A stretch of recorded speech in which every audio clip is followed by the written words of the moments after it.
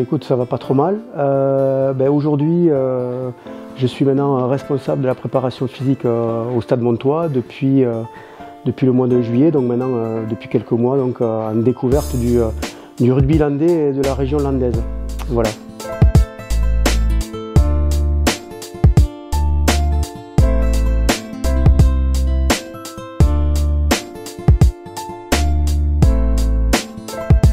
Alors, euh, beaucoup plus de similitudes que de différences entre ces deux clubs.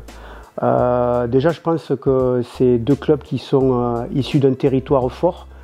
Et ce territoire qu'on ressent au plus profond des couleurs de chaque club, qui sont vraiment deux clubs ancrés dans, dans la ville, avec un fort engouement régional. Donc ça, c'est déjà vraiment les deux grandes similitudes. Et aussi, on va dire, euh, poussé par deux gros partenaires, que ce soit Pierre Fabre d'un côté et euh, Total Energy de l'autre. Donc il y a beaucoup de similitudes entre ces deux, clubs.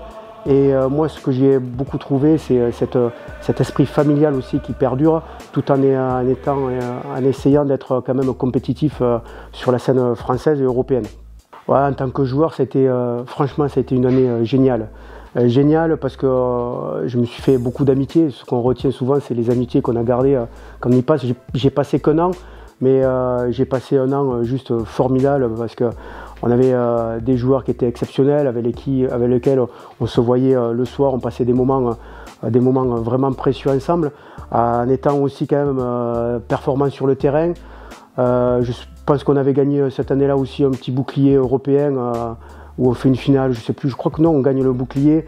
Donc vraiment une année exceptionnelle de, ce côté-là. Après, en tant que préparateur physique, on passe de, l'autre côté. Et euh, la première année, elle a été très très belle, puisque moi j'arrive, alors que le, Castre Olympique vient d'être champion de France. Derrière, on arrive à, remobiliser les joueurs pour faire une finale.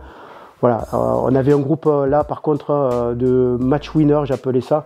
C'est-à-dire qu'on avait vécu une, saison de championnat pas très facile. On avait réussi à se qualifier à la dernière journée à Bayonne. Ça a été très compliqué. Et en fait, après, on fait des phases finales de rêve. On va gagner à Clermont, on fait un match nul contre Montpellier, mais on passe au nombre d'essais ou à un drop passé à la dernière minute. Euh, derrière, on a ce match perdu, cette finale perdue, mais je pense que les phases finales étaient juste exceptionnelles. Donc, euh, ouais, c'est euh, des passages qui m'ont marqué au Castre Olympique. Un match en 2000, en 2000 à Toulouse où c'est une finale de bouclier européen. Alors c'est vrai qu'à l'époque, le bouclier européen euh, n'avait pas peut-être la saveur qu'elle a, aujourd'hui, mais en tout cas, c'était un bouclier, c'était euh, quand, on, quand on joue au rugby, euh, quand on entraîne, finir, un championnat, c'est toujours important. Même si c'est un petit championnat, arriver à une finale, c'est important. Et donc, c'était important, c'est bouclier européen.